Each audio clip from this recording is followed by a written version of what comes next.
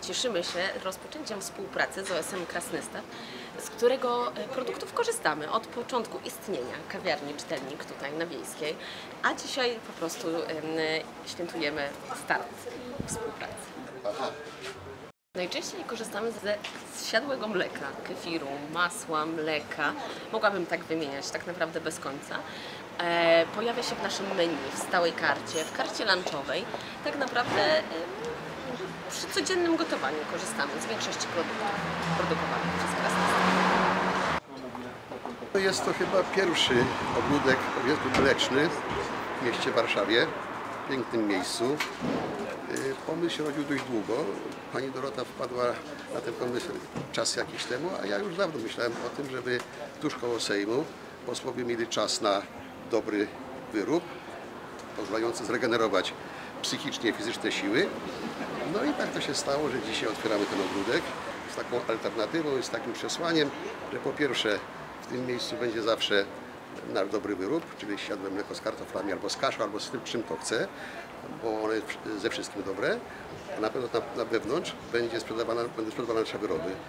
Przede wszystkim masło, yy, bo jest ciągły głód w Warszawie masła krasnostawskiego. Nie wiem z jakiego powodu, ale ile razy przyjeżdżam, to mnie znajomi pytają, a gdzie twoje masło? No to tutaj już będzie masło na stałe, yy, będą inne wyroby.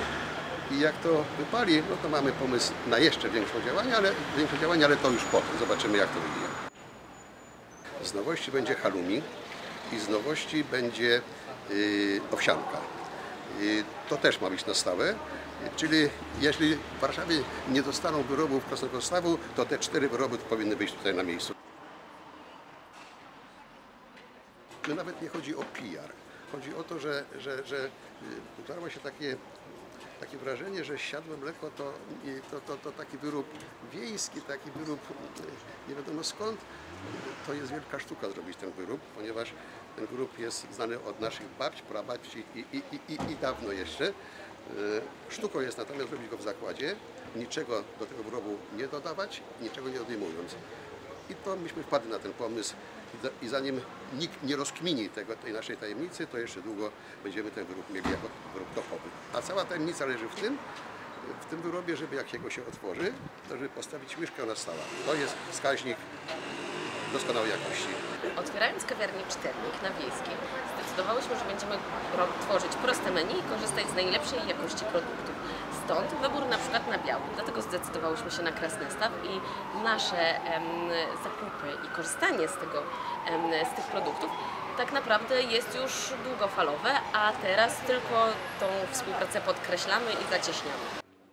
Przy tej współpracy i przy tej okazji chciałabym też powiedzieć o samej kawiarni e, kilka słów. Może z tego względu, że jako absolwentka filologii chciałam zawsze, żeby połączyć swoje dwie pasje, czyli pasję do literatury, ale też pasję do gastronomii, to e, tym sposobem znalazłyśmy się właśnie tutaj na ulicy Wiejskiej, żeby ponownie otworzyć miejsce już z 47-letnią historią, gdzie e, chciałyśmy tak naprawdę podkreślić walor tego miejsca, ale też dobrze karmić.